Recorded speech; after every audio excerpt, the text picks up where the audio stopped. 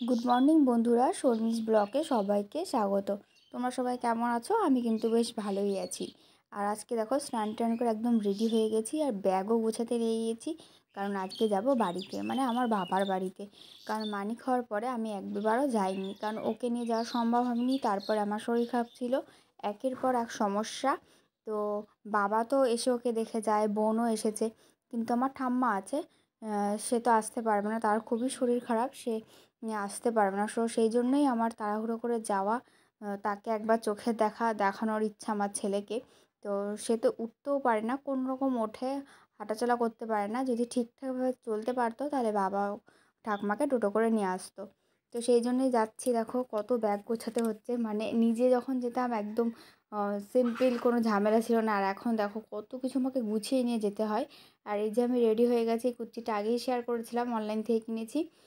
ছেলে হওয়ার আগেই কিনেছিলাম, ভেবেছিলাম ছেলে বাচ্চা হওয়ার পরে পরবো। যাই হোক, ছেলে হওয়ার পরে এই যে পড়ছি প্রথম ফার্স্ট আজকে। আর ওরই সব জিনিসপত্র নিয়েছি। দেখো একবেলার জন্য যাব, আমার দুটো ব্যাগ অলরেডি হয়ে গেছে। আর বাইরে কিন্তু আজকের ওয়েদার ভালো ছিল, ঝলমলে রোদ্দুর উঠেছিল আর জামা কাপড়গুলো সব নিচে মেলে দিয়েই যাচ্ছি, কারণ শুকিয়ে যাবে। আর এইদিকে আমাদের টোটো চলে এসছে, মা ছেলেকে নিয়ে উঠে গেছে আর আমি যাব, ও উঠে পড়ব আর আমি আর মা টোটো করে যাচ্ছি আর আমার বর যাবে বাইকে করে। আর টোটোই না খুব ঝাঁকুনি হয় সেই জন্য আমার একদম কোথাও যেতে ইচ্ছা করে না, কিন্তু কি করব এখন যেতে হবে। আর ওই জন্য আমি সব জায়গায় বাইকে করে যাই। আর এই যে আমাদের বাড়িতে যাওয়ার আগে একটা ফাঁকা মাঠ আছে। তো এই যে দেখো দুই দিকে একদম সবুজ ধানে খেতে ভরা, ধান খেতে ভরা। আর বা মাঝখান দিয়ে রাস্তাটা দেখতে কতটা সুন্দর লাগছে। গরমকালটা খুব ভালো লাগে এখানে। অনেক বেশি হাওয়া হয়। মানে এখানে এসে যদি কেউ দাঁড়ায় মানে আর তার ফ্যানের হাওয়া লাগবে না। এরকম একটা ব্যাপার। এই কথা বলতে বলতে দেখো বাড়ির সামনে চলে এসেছে। আর এই কুকুরটা আমার বোনের। তো ওই যে আমার বর এসে দাঁড়িয়ে রয়েছে। তো চলে এসেছি আর আমার ছেলেকে এই যে শুয়ে দিয়েছে। প্রথমবার দাদু বাড়িতে আসলো, এসে শুয়েছে। আর এসে না কোনো দুষ্টুমি করিনি। আর আমার বোন এদিকে আমাদের সবাইকে খেতে দিয়ে দিল ঠান্ডা। আমি তো খাই না। আমার বড় খেতে চায় না, যাই হোক দিয়ে দিয়েছে। তারপরে মিষ্টি দিল। তা খাওয়া দাওয়া কমপ্লিট করতে করতে ঠাকুমার সাথে দেখা করে আসলাম আমি।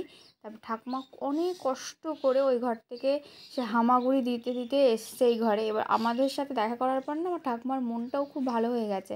আর কি করে কি করে ঠিক মানে খুব গল্প করছে, বসেছে তারপরে আমার ছেলে কবে হলো, কি হলো, না হলো, সমস্ত গল্প করছে, এটা করবি, সেটা করবি বলছে। আর এই যে আমার ছেলেকে তো ঠিকঠাক করে নিতে পারবে না, তো সেইভাবে ঠাকুমা সেভাবে থাকে না, তো সে ঠাকুমার গায়ে একটা কাপড় দিয়ে তারপর আমার ছেলেকে শুয়ে দিলাম। যে, নাও আমার বড় বল হচ্ছে, ও ঠিক আছে, ঠাকুমার কোলে এইভাবে দাও।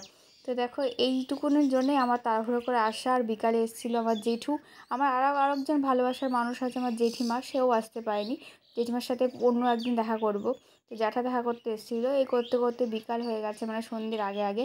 তো এখন আমরা চলে যাব। দেখো, বাবারও মনটা খারাপ হয়ে গেছে, আমার বোনেরও মনটা খারাপ হয়ে গেছে। স্বাভাবিক না? নাতি ছেলে আসার পরে স্বাভাবিক সবারই মনটা খারাপ হয়ে যায়। তো আমারও ভীষণই মন খারাপ হচ্ছে, কিন্তু এখন তো আমার একদমই থাকার উপায় নেই।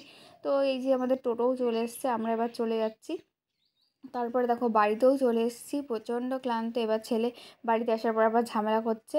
এবার ওকে আবার চেঞ্জ করাবো জামা কাপড় গোছাবো, নিজে ফ্রেশ হব। আর রাত্রিবেলা আর কিচ্ছু ভালো লাগেনি। তো রাত্রিবেলায় দেখো মুড়ি, জিলাপি আর সিঙ্গারা খেয়ে কাটালাম। কারণ আজকে আর ভালো লাগছে না অন্য কিছু রান্না বান্না করতে। আর এদিকে ও দুষ্টুমি করছে বলে মাকে ঘুম পাওয়ানোর চেষ্টা করছে। তো আজকের ভিডিওটা এই পর্যন্তই। ভালো লাগলে অবশ্যই লাইক করো আর আমার চ্যানেলটা অবশ্যই অবশ্যই সাবস্ক্রাইব করো আর পাশে থাকো। বাই গুড নাইট সবাইকে।